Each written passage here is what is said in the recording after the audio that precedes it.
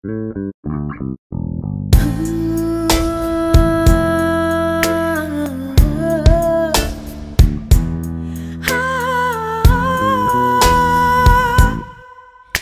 هستم دختر هستم خواهر هستم رفیق و همسر هستم مادر هستم.